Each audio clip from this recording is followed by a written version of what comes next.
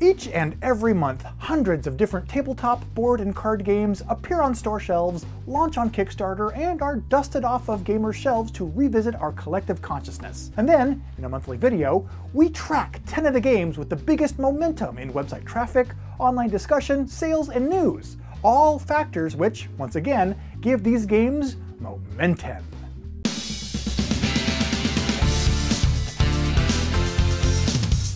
Hey, I'm Chaz Marlar, and before we begin this month's countdown, I wanted to mention that this episode is made possible, in part, by Call to Adventure from Brotherwise Games. Call to Adventure is a hero-building card game that challenges you to create an original fantasy character, draft traits and face challenges as you build your character's story and abilities in a tabletop tableau. Adventures are available in both the game's original fantasy setting and officially licensed expansions based on the Stormlight Archive and the Name of the Wind. And while the winner is the hero with the highest Destiny score, every player ends up with a story to tell. Call to Adventure is available right now at friendly local game stores and through the link in this video's description.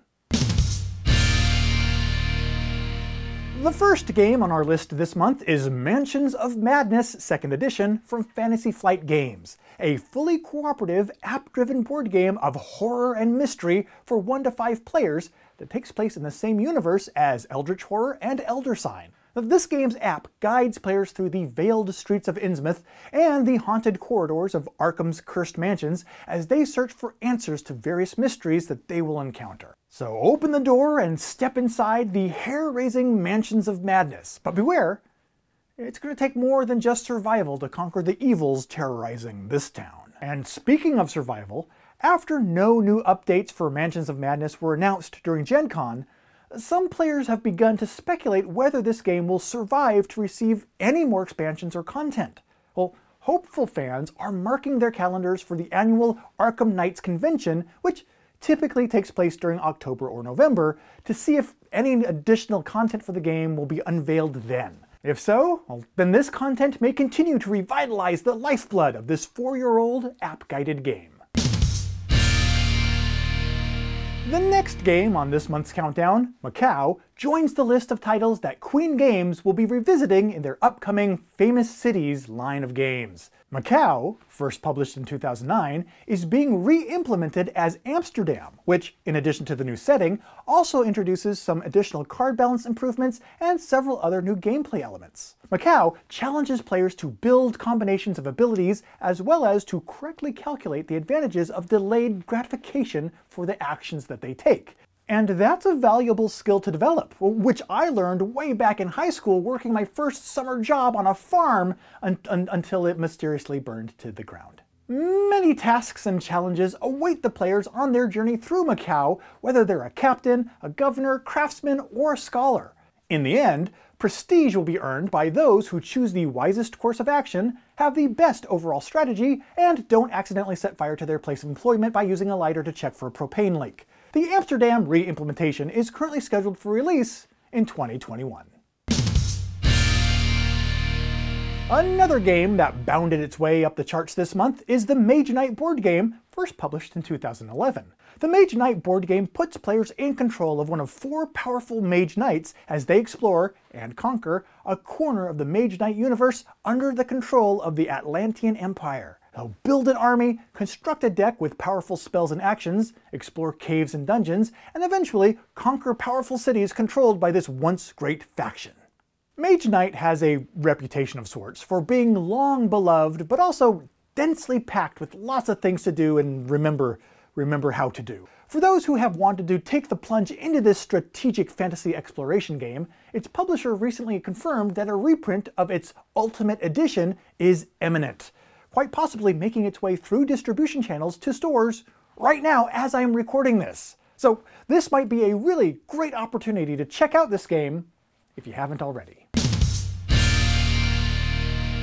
You know, you'll find that wisdom is all around us if, if you just take the time to look for it. Uh, for example, one day at my high school summer job, before what would become known as the Great Propane Firestorm, my boss, Dave, bounded across the farm to remind me that if I ever wanted to join the ancient pharaohs in creating and growing one of the most impressive sites the world has ever seen, honoring the Egyptian gods Horus, Ra, Hathor, Bastet, Thoth, and Osiris, then it would be imperative that I carefully manage the delicate balance of actions that are available to me while preparing for the reckoning by the goddess Ma'at. I'm pretty sure that Dave had stroke. But now, I can finally put Dave's slurred words of wisdom to use by playing Tekhenu, Obelisk of the Sun. Because this game is divided into six sections, each associated with an Egyptian god. And in the center of the board stands an obelisk which casts its shadow onto different parts of the board.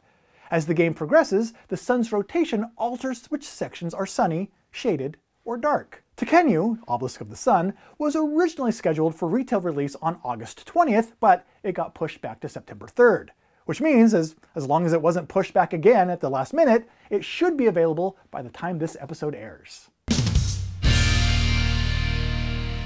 Next up is Descent Journeys in the Dark, 2nd edition, which got a bump of momentum this month when its publisher, Fantasy Flight Games, made a blink and you'll miss it teaser reveal of a third edition of the game during its online streaming Gen Con announcements. In Descent, one player takes on the role of the treacherous Overlord, and up to four other players take on the roles of courageous heroes. During each game, the heroes embark on quests and venture into dangerous caves, ancient ruins, dark dungeons, and cursed forests to battle monsters, earn riches, and attempt to stop the Overlord from carrying out his vile, vile plot featuring double-sided modular board pieces, countless heroes and skill combinations, and an immersive story-driven campaign, Descent Journeys in the Dark, 2nd edition, transports heroes to a vibrant fantasy realm where they must stand together against ancient evil. And you know what else would be evil? if I let another moment go by without mentioning some of the other countdowns that we produce each month with the help of the incredibly talented Paula Deming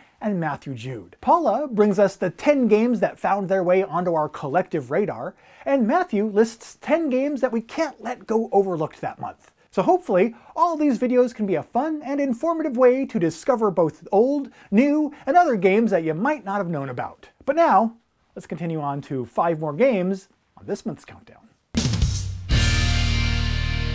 Next up is Smartphone Inc., which plops you into the surprisingly comfortable, yet still a little pinchy around the toes, shoes of a powerful telecommunications CEO as you manage one of the world's largest smartphone producing companies. Research technologies, develop your factory, decide whether or not to give Gary from Fabrication that promotion that he's been angling for, and build your worldwide office network while you outprice your competitors. Smartphone Inc. recently released an expansion called the version 1.1 update, which adds four new modules to the game, plus a new game board specifically designed for two to three players, five new CEO miniatures, and a hardcore mode, just in case mastering the day-to-day -day operations of a major international technology conglomerate wasn't, in and of itself, enough of a challenge for you. If you really want a challenge, try managing the day-to-day -day operations of a dusty farm where your employee is some stupid high school kid who's too dumb to get out of the sun before heat stroke causes him to start hallucinating that you're spouting nonsense about ancient Egypt when you're actually warning him to get out of the way of the irrigation tractor that's about to run him over. Now that that is a challenge.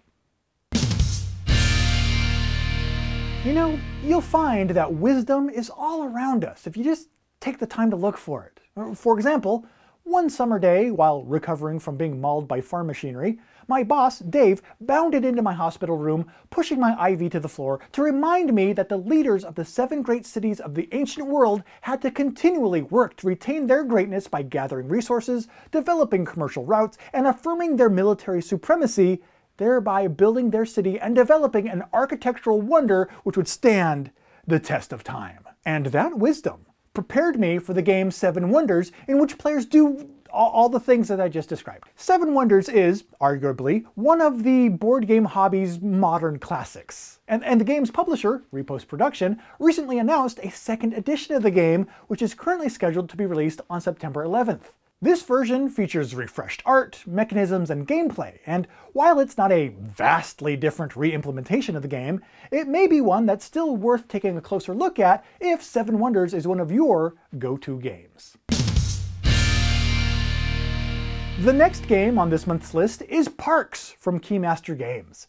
In Parks, players take on the role of two hikers as they trek through different trails across four seasons of the year. While on the trail, these hikers will take actions and collect memories of the places that they visit. These memories then are represented by various resource tokens like mountains and forests. Collecting these memories in sets will allow the players to trade them in to visit a national park at the end of each hike. Now, a unique edition of Parks was available from Barnes & Noble titled the Barnes & Noble Exclusive Box Art Edition. The primary difference in this version is that the box sports different art and a slightly different size, and for all other intents and purposes, all the components inside the box are identical to the original game. So if you spy this alternate box art on the shelves of your local Barnes & Noble, don't worry, you're not hallucinating. Any hallucinations are more likely due to a combination of propane asphyxiation, heat stroke, tractor mauling, and an incorrectly calibrated morphine drip while you were in the intensive care unit. The penultimate game on this month's list is the new game from the op, Harry Potter House Cup competition. The House Cup calls for the brightest students to compete in this worker placement strategy game, so no victims of farming mishaps here. In Harry Potter House Cup competition, use knowledge and magic to learn lessons and complete challenges. The player who earns the most points for their house will be named the House Cup champion, and the player who earns the least points for their house has to spend the afternoon writing scripts for board game countdown shows. And the game gaining the most momentum this month is Aeon's End from Action Phase Games. In this game, the survivors of an invasion long ago have taken refuge in the forgotten underground city of Gravehold. And there, the desperate remnants of society have learned that the energy of the very breaches of the beings that used to attack them can be repurposed through various gems, transforming the malign energies into beneficial spells and weapons to aid their last line of defense the Breach Mages. Aeon's End is a cooperative game that explores the deck building genre with a number of innovative mechanisms, including a variable turn order system that simulates the chaos of an attack, and deck management rules that require careful planning with every discarded card. Players will struggle to defend Gravehold from the Nameless and their hordes, the zip codeless, using unique abilities, powerful spells, and, most importantly of all, their collective wits. So yeah, good luck to me. And there you go. There are the games propelling in positive position this month. And for more board game countdowns, playthroughs, and pontification, check out the other videos posted on the channel. Until next time, I've been Chaz Marlar from Pair of Dice Paradise and Watch It Played. Take care, and stay out of the sun.